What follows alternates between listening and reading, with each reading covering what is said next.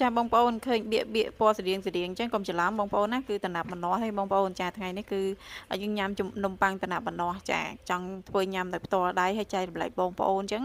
ហើយអ្វីដែលសំខាន់គឺរសជាតិវាឆ្ងាញ់ណាបងប្អូនចារសជាតិវាផ្អែមមុតហើយក៏អូប ម្នាស់ហើយឈ្ងុយហើយនៅក្នុងនេះផងដែរគឺមិនត្រឹមតែបានជាប្រភេទតាណាពេបានទាំងទឹកម្នាស់ញ៉ាំទៀតបងប្អូនចាជំរាបសួរបងប្អូនទាំងអស់គ្នាចាអូថ្ងៃនេះមកវីដេអូថ្មីចែករំលែកបងប្អូនទៀតហើយសូមស្វាគមន៍បងប្អូនទាំងអស់គ្នាណាហើយថ្ងៃនេះគឺយើងមានជាមួយនឹងម្នាស់ពីរផ្លែហើយនឹងស្ករសមួយស្លាបព្រាបាយបងប្អូនក្រូចមួយចំណិតហើយនឹងអំបិលបន្តិចទេអញ្ចឹងគ្រឿងផ្សំថ្ងៃនេះគឺមានតិចមែនតើបងប្អូនហើយចង់ដឹងថានេះខ្ញុំធ្វើអីខ្លះបងប្អូនណាចាតាមដានវីដេអូរបស់នេះខ្ញុំបានចាប់បានដឹងថាអូបានអីខ្លះណា និយាយទៅគ្រឿងផ្សំតែបន្តិចទេចាំមកគិតធ្វើបានច្រើនមុខម៉េចាំមើលមើលចាឥឡូវនេះគឺចាប់ផ្ដើមឈូសហើយបងប្អូនឃើញដៃនឹងញាត់ស្មេចាគឺថាឈូសយើឈូសយើឡើងចង់អលេះដៃអស់ហើយចាគឺឈូសផ្លែម្នាស់ហ្នឹងដើម្បីឲ្យវាម៉ត់ល្អហើយវាបានទាំងទឹកបានទាំងកាកបងប្អូនចាយើងធ្វើបែបនេះគឺផ្លែម្នាស់របស់យើងហ្នឹងគឺវាចេញជាតិល្អផងដែរហើយអ្វីសំខាន់គឺយើងមិនបាច់ប្រើម៉ាស៊ីនក្លុកទេមិនអ្នកខ្លះគាត់ថាធ្វើអញ្ចឹងរួយដៃរួយអីអញ្ចឹងក៏ប្រើម៉ាស៊ីនក្លុកបានតែសម្រាប់នាងខ្ញុំ ចែករំលែកនេះដើម្បីងាយស្រួលដល់បងប្អូនដទៃទៀតដែលគាត់អត់មានម៉ាស៊ីនក្លុកគាត់អាចធ្វើចឹងបានហើយទិញអាប្រដាប់ឈូសវាទៅវានិយាយទៅវាធូរថ្លៃបងប្អូនទិញប្រដាប់ឈូសនឹងធូរថ្លៃអញ្ចឹងបងប្អូនអាចទិញប្រើនៅផ្ទះបានណាហើយឥឡូវនេះគឺនឹងខ្ញុំចាប់ផ្ដើមពូតយកពូតយកនៅសល់បានទឹកនេះ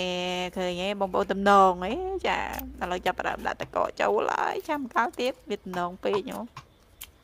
ចានឹងចឹងទឹកយើងដាក់ម្លែកចឹងមកយើងយកមកទៅ ដាក់ញ៉ាំបានភ្លាមភ្លាមហើយទឹកនេះគឺយើងបន្ថែមតែអំបិលបន្តិចទេបងប្អូនអត់មានប្រើស្ករទេបងប្អូននឹងស្រាប់ហើយសម្រាប់ម្នាស់វាមានរសជាតិផ្អែមជូរអញ្ចឹងយើងថែមអំបិលបន្តិចដើម្បីកាត់បន្ថយអាជាតិជូររបស់វាណាហើយខ្ញុំទៅថែមជាមួយនឹងជីងកាមមួយមួយ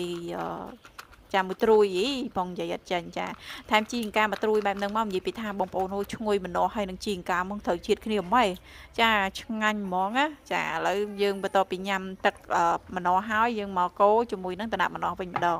ស្ករមួយស្លាបព្រានឹងខ្ញុំចាក់ទាំងអស់ហើយជាមួយនឹងអំបិលតែមួយចិបមកបងប្អូនអំបិលតែមួយចិបមកខ្ញុំថែមប៉ុណ្ណឹងមកបងប្អូនយើងកូរវឹកកូរវឹកកូរវឹកវាឲ្យរៀងយូរប៉ុន្តែកុំប្រើភ្លើងខ្លាំងណាបងប្អូនយើងធ្វើនេះគឺប្រើភ្លើងតិចតិចបំផុតដើម្បីឲ្យវាគោកទឹកបានល្អហើយម្នាស់សាច់ម្នាស់យើងគឺឆ្អិនស្មើវា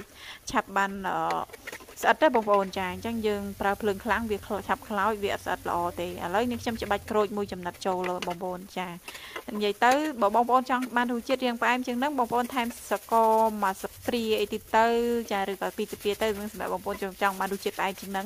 តែសម្រាប់ខ្ញុំដាក់នេះគឺរសជាតិផ្អែមល្មមបងប្អូនឡំឡំទេហើយវានៅវាអត់បាត់ក្លិនម្នាស់នៅឈ្ងុយម្នាស់មែនតែនបងប្អូនចាឥឡូវនេះរួចរាល់ហើយយើងដួសយកដាក់ចានមក យើងយកមកលាបជាមួយនឹងនំប៉័ងរបស់យើងហើយនាងខ្ញុំប្រាប់បងប្អូនត្រង់ទៅនំប៉័ងនេះគឺនាងខ្ញុំទិញយកមកខ្ញុំខ្លះសេទុកដែលចង់សាច់នំប៉័ងវារៀងផុយបន្តិចតែបងប្អូនទិញថ្មីថ្មីមកនំប៉័ងនៅឈ្ងុយទៀតអូនិយាយពីថាឆ្ងាញ់ណាស់បងប្អូនណាហើយត្រូវជាមួយនឹងតំណាប់ម្នាស់ហ្នឹងគឺឆ្ងាញ់មែនតែនគាត់ថាបើបងប្អូនបានម្នាស់រៀងទុំញោខ្លាំងណាគឺវាផ្អែមក្អូបឈ្ងុយតែម្ដងចាហើយយើងយកមកដាក់ជាមួយនំប៉័ងកំពុងនៅក្តៅក្តៅអីទៀត និយាយពីចង់សាច់គោក៏មិនដូវឯងបងប្អូនអើយចាឆ្ងាញ់ណាស់ចាឥឡូវនេះចាប់ផ្ដើមបៀកវាបែបហ្នឹងមកបងប្អូនចាបៀកវារៀងច្រើនជាងហ្នឹងក៏បានតាមចំណងចំណូលចិត្តបងប្អូនចង់បានច្រើនចង់បានតិចអីចឹងណាចាបាក់ដាក់ចឹងមកហើយយើងកាត់យកមកយើងញ៉ាំបានហើយចាបងប្អូនចង់ដាក់ប្រហែលស្ទប់ក៏បានដែរចង់2ស្ទប់ចង់3ស្ទប់ចង់4ស្ទប់អីដាក់តាមហ្នឹងមកគឺនឹងខ្ញុំចង់បានតែ3ប៉ានៀបងប្អូនមើលឃើញអូនិយាយពីខាំម៉ាត់ម៉ាត់តែម្ដងបងប្អូនឈ្ងុយម្នាស់ហើយនឹងនំប៉័ងគឺឈ្ងុយត្រូវគ្នាហ្មងចាត្រូវគ្នាគឺឆ្ងាញ់មែនតើអញ្ចឹងសម្រាប់បងប្អូនចង់ធ្វើអាហារសម្រន់អីអាចធ្វើបានណាចាអរគុណមែនតើបងប្អូនសម្រាប់ការទស្សនាវីដេអូរបស់នាងខ្ញុំហើយក៏សូមអធិស្ឋានបើសិនជាមានកំហុសឆ្គងជួបនាងខ្ញុំនៅវីដេអូក្រោយអរគុណសូមជម្រាបលា